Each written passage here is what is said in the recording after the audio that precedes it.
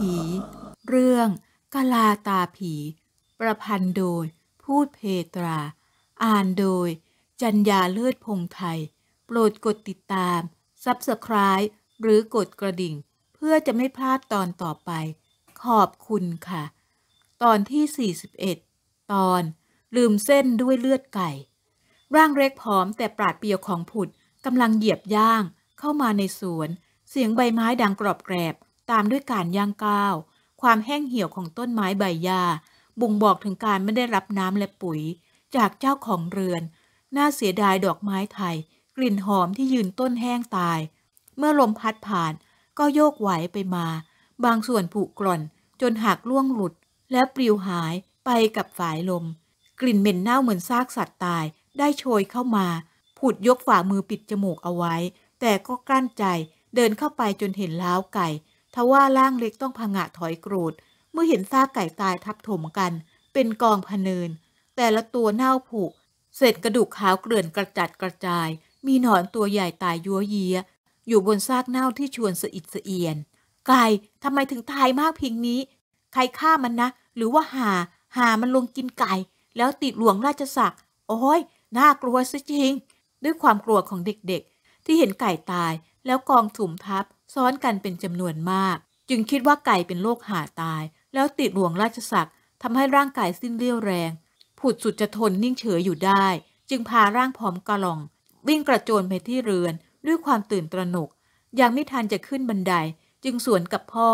ที่ก้าวลงมาด้วยใบหน้าเครียดขรึม พ่อ น่ากลัวซะจริง ผุดตะโกนโบกเวกด้วยปากคอสัน่น หลานมองลูกด้วยความสงสัย คิ้วเข้มดกหนา ขมวดเข้าหากัน เขาคิดว่าคงมีเรื่องผิดปกติอย่างใหญ่หลวง เพราะผุดไม่เคย กลัวอะไรง่าย ๆ เองเป็นอันใดว่าไอ้ผุด ฉันไปที่สวนหลังบ้าน ได้กลิ่นเหม็นเน่า พอเดินไปอีกนิด ก็เห็นไก่ตาย กองสุมกันเต็มไปหมด ตรงสายหาลง แล้วติดคุณหลวงนะพ่อผุดเล่าด้วยปากคอสันท่าทางหวาดกลัวสุดขีด หลานสายหน้าไปมาเล็กน้อย เพราะรู้ว่าหลวงราชศักดิ์ไม่ได้ติดโรคหา แต่เป็นอาการของคนสิ้นแรงเท่านั้น เพียงแค่ต้มยาเพิ่มพลัง อีกไม่นานกำลังวังชาก็กลับคืนมา ไม่ใช่หาดอกไอ้พุดคุณหลวงน่ะ แค่เพียงไม่มีแรงเท่านั้น แล้วไก่ละพ่อ เหตุใด มันถึงตายมานอนกองรวมกันได้ถึงเพียงนั้น เออข้าจักไปดูให้เห็นกับตา ส่วนเองไปช่วยแม่เช็ดตัวคุณหลวงท่าน อย่าให้ใครพูดได้ว่าอยู่เปลืองข้าวสุกนะ จ้าพ่อ สองพ่อลูกต่างแยกย้าย กันไปทำตามหน้าที่ของตน ผุดเข้าไปเช็ดตัวหลวงราชศักดิ์แล้วนวดเฟ้นเพื่อให้ฟื้นฟูกล้ามเนื้อให้กลับคืนมา ส่วนลานเข้าไปในสวน เพื่อหาสมุนไพรมาต้ม ให้หลวงราชศักดิ์ดื่ม และเขาก็เดินสำรวจ จึงเห็นไก่ตายตามที่ลูกชายบอก หลังจากนั้นเพียงชั่วครู่ จึงรู้ว่าไก่แต่ละตัวถูกเชือดคอจนหลอดลมขาด เขาได้แต่สงสัยว่าใครเป็นผู้ฆ่าชีวิตของพวกมัน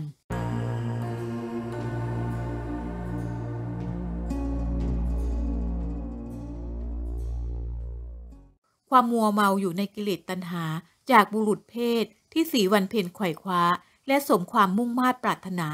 เมื่อผวนมาเป็นผู้เพิ่มเติมกับความต้องการนั้น ทุกค่ำคืนสีวันเพ็ญจะคลุกอยู่กับผวน ไม่ยอมให้เขาห่างกาย ไม่ว่าร่างกายจะสู้ผอมลง เพราะถูกวิญญาณผีเข้าครอบคลุม แต่นางก็ยังคงมีความปรารถนาในตัวคนรัก ผวนเองก็เช่นกัน ไม่ใส่ใจต่อสภาพร่างกาย ของฝ่ายหญิงที่ผ่ายผอมลง และก็ผอมลงทุกวัน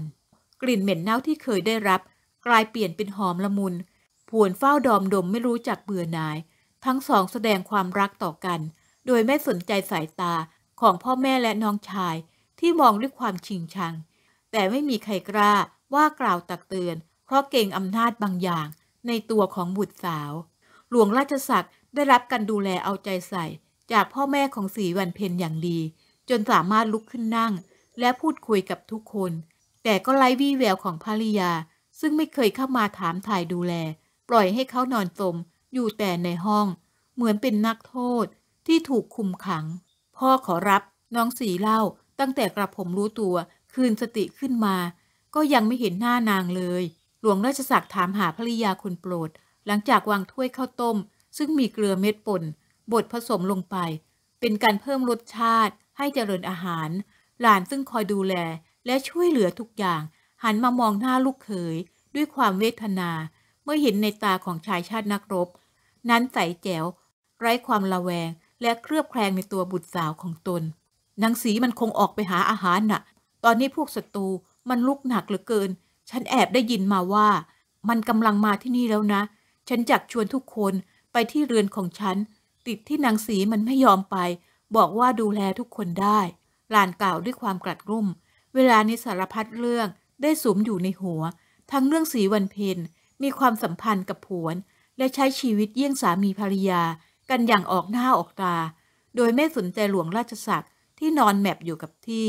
และเรื่องทัพพม่าที่เผาและทำลายทุกอย่างให้พินาศย่อยยับ จึงเกิดความหวาดกลัวว่าพวกมันจะเข้ามาทำลายเรือนแห่งนี้ หากว่าพวกตนยังคงอาศัยอยู่ คงไม่รอดพ้น เงื้อมมือไปได้ จึงอยากจะหนีไปอยู่ที่บ้านป่า ติดตรงลูกสาวไม่ยอมให้เขาไป โดยอ้างว่าสามารถดูแลได้ โดยไม่มีใครกล้าลุกเข้ามาเข็นฆ่า กระผมเห็นใจน้องสีจริง ๆ เชียว ในสภาวะสงครามเยี่ยงนี้ต้องออกไปหาอาหาร มาดูแลพวกเรา หากว่าแข้งขากระผมมีแรงขึ้นมา คงจักช่วยแบ่งเบาภาระของน้องสีได้บ้างหรอก หลวงราชศักดิ์คิดว่าสีวันเพ็ญเป็นผู้ออกไปหาอาหารมาเลี้ยงดูทุกคนในเรือน ทั้งที่ความจริง หน้าที่นี้ตกเป็นของหลาน ที่เล็ดลอดออกไปค้นหาข้าวของในเรือนร้างที่ไร้ผู้อาศัย ส่วนสีวันเพ็ญยังคงสำเริงสำราญอยู่กับชูรัก จนลืมเดือนและตะวัน คุณหลวงนอนพักผ่อนเถิดขอรับจากได้มีแรงเดินเหิน ฉันต้องไปดูฟืน ตากเอาไว้ตั้งแต่เมื่อเช้า ป่านนี้คงแห้งแล้ว หลานเลี่ยงออกมา เพราะไม่อาจทนฟัง ได้ยินคำพูดสรรเสริญ ความดีของบุตรสาว ทั้งที่ความจริงแล้ว ไม่ได้เป็นตามนั้น สีวันเพ็ญเป็นผู้หญิง ที่แสนชั่วร้าย กล้าเล่นชู้ในห้อง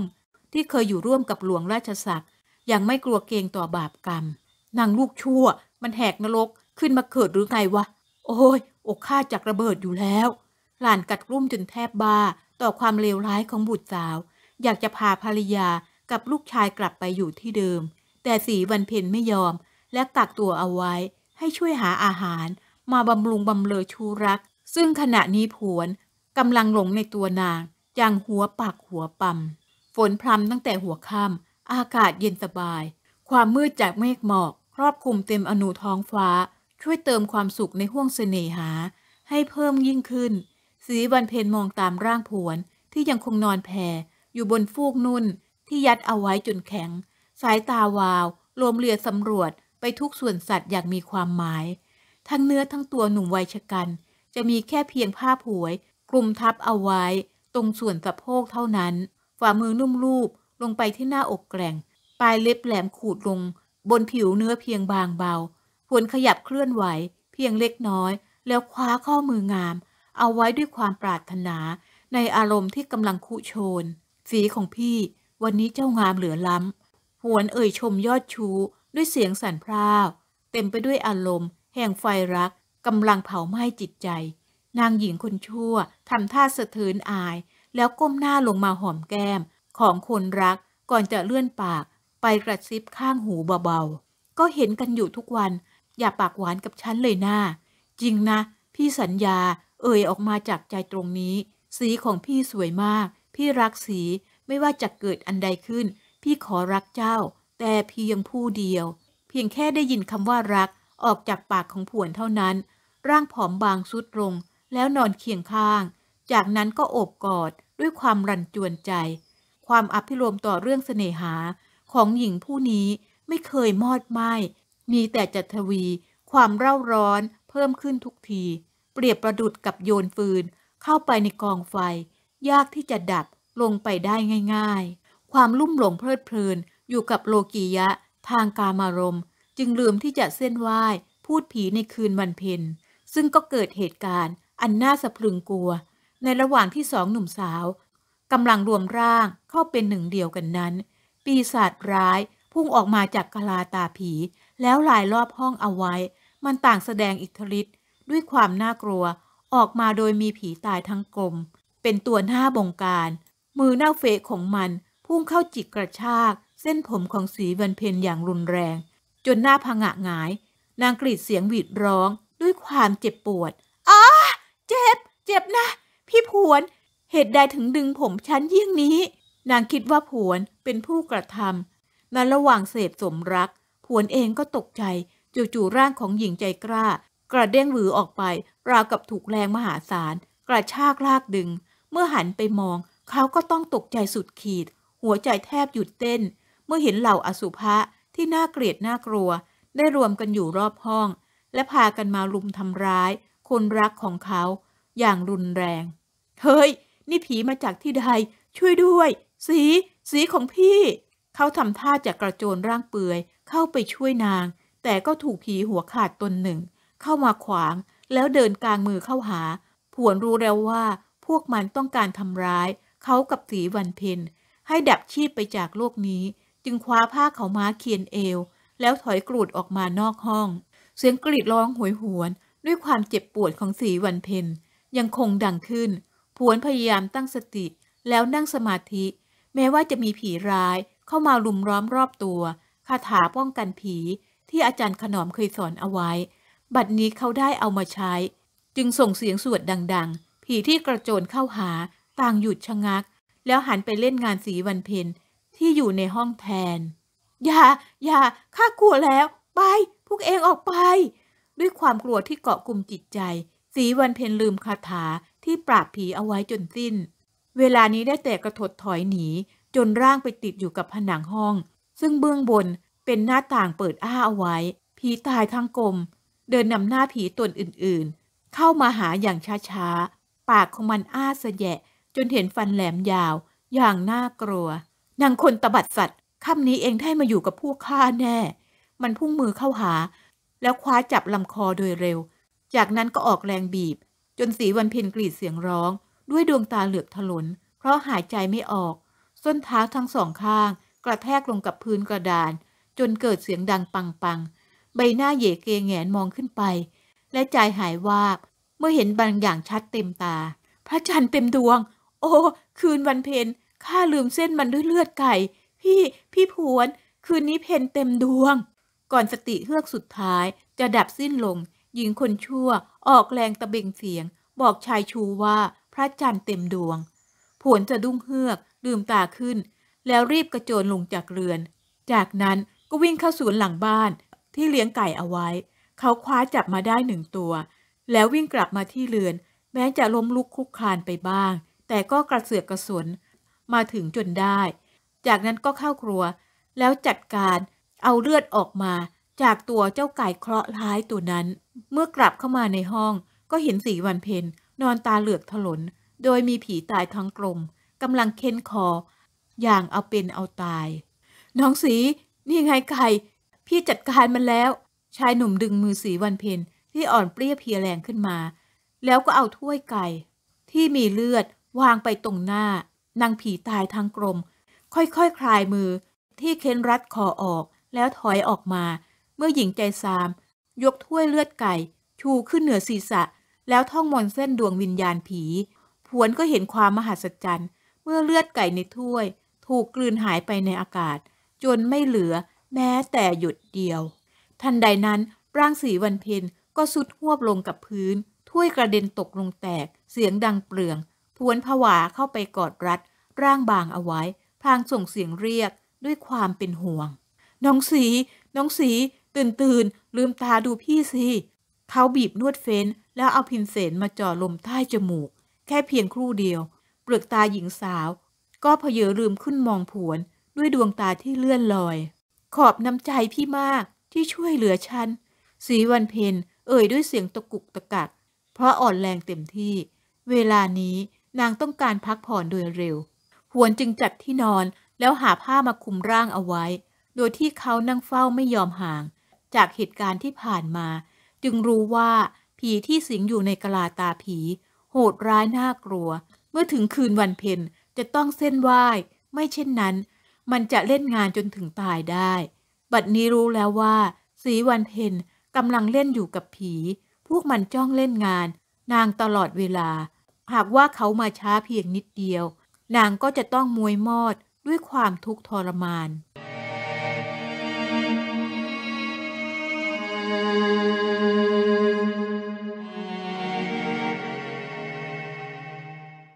ทางด้านนวลจิตเมื่อเดินทางมาถึงที่หมาย เจอพระยาพิพัฒน์สิงห์กับคุณหญิงเนื้อนวลผู้เป็นบิดามารดา รออยู่ก่อนแล้ว ทั้งสามใช้ชีวิตกันอย่างเรียบง่าย เหมือนชาวบ้านทั่วไป สถานที่แห่งนี้อยู่บนภูเขา ซึ่งเบื้องบนเป็นที่ราบกว้าง คนภายนอก ไม่มีโอกาสได้ร่วมรู้ เพราะมีป่าล้อมรอบ เมื่อมาอยู่กันพร้อมหน้าทุกคน จึงลงความเห็นว่าจะต้องทำไร่และทำสวน โดยไม่หวนย้อนกลับไปถิ่นเดิม ลูกยังคงห่วงคุณพี่อยากรับมาอยู่ด้วย หลังจากนวลจิตเล่าเรื่องถึงความเลวร้าย ที่ถูกสีวันเพนกระทำให้บิดามารดาฟัง สีหน้าเต็มไปด้วยความกังวล เพราะเป็นห่วงหลวงราชศักดิ์เกรงว่าจะถูกภรรยาบ่าวทำทารุณกรรมพยาพิพัฒน์สิงห์แสดงอาการโกรธขึ้นมาอย่างชัดเจน มันทำกับลูกของพ่อถึงเพียงนี้ เจ้ายังห่วงมันอีกหรือพร้อมกันนั้นกำปั้นใหญ่ทุบลงกับฝ่ามือ จนเกิดเสียงดังเสียดแทงเข้าไปกลางใจ หากว่าท่านรู้ก่อน หากท่านรู้ก่อนหน้านี้ว่าลูกสาวถูกสามี และภรรยาน้อยกลั่นแกล้ง คนทั้งสองคงอยู่ไม่สงบสุขแน่ ท่านจะต้องสั่งสอนให้รู้สำนึก แต่นวลจิตรู้ดีว่าไม่มีใครทำอะไรสีวันเพ็ญได้ เพราะมีพูดผีคอยช่วยเหลือนาง บิดาของนางจะได้รับการตอบโต้อย่างสยดสยอง หากเป็นเช่นนั้นจริง นางคงทนไม่ได้อย่างแน่นอน คุณหญิงเนื้อนวลเช่นกัน แสดงความชิงชังในตัวบุตรเขยที่ละทิ้งบุตรสาวของตน แล้วหลงมัวเมาอยู่กับมนผีของภรรยาน้อย อย่างลืมหูลืมตาไม่ขึ้น จึงไม่เห็นต่อความห่วงใยที่นวลจิตมีต่อหลวงราชศักดิ์จึงเกิดอาการขุนขวาง แล้วก็ค้อนขวัก นั่นสิคุณพี่ ลูกเรานี่ก็พิลึกคน หลุดออกมาได้ นี่ก็ถือว่าบุญแล้วนะ จริงไหมจะรวย ข้าคุณป้านางสีนั่นมันโหดร้าย และเลวทรามมาก หาเรื่องทำร้ายบ่าวได้ทุกวัน ดูหลังของแต่ละคนสิเจ้าคะ เต็มไปด้วยเลียวไหวทั้งนั้น จะรวยเข้ากับลุงและป้า อย่างเป็นปีเป็นคุย และพยักพเยิดหน้าไปที่บ่าวชายหญิง ที่มีรอยบาดแผลจากหวาย จากการถูกสีวันเพนหวดอย่างไม่ยัง้ง เมื่อไม่สมใจปรารถนาในการเรียกใช้ ต่างจากนนจิตกลับมีความวิตกกังวล เป็นห่วงหลวงราชศักดิ์ ก่อนเดินทางออกมา ก็เห็นสภาพร่างกายแล้ว รู้ว่าย่ำแย่ขนาดหนัก แม้ว่าเดินยังแทบไม่มีเรี่ยวแรงย่างก้าว คงเป็นผลจากมนต์เสน่ห์ผีทำให้เขามีอันเป็นไป คุณพี่กระทำไปโดยไม่รู้ตัว เพราะมนต์ผีต่างหาก คุณพ่อคุณแม่เจ้าคะ อย่ากโกรธลูกเลยนะ ลูกอยากไปพาตัวคุณพี่ มาอยู่ที่นี่กับพวกเรา นวลจิต ลูกพูดอันใด คิดดีแล้วหรือ พ่อเสียใจจริง ๆ เจ้าค่ะ คุณพ่อ เจ้าค่ะ คุณพ่อพระยาพิพัฒน์สิงห์มองลูกด้วยสายตาเจ็บปวด เมื่อเห็นอาการทุรนทุรายของผู้เป็นบุตรสาว ที่ยังคงร่ำร้อง อยากไปช่วยเหลือหลวงราชศักดิ์ให้รอดพ้นจากเงื้อมมือของสีวันเพ็ญนับวันมีแต่ความโหดร้าย ทวีความรุนแรง เพิ่มขึ้นทุกที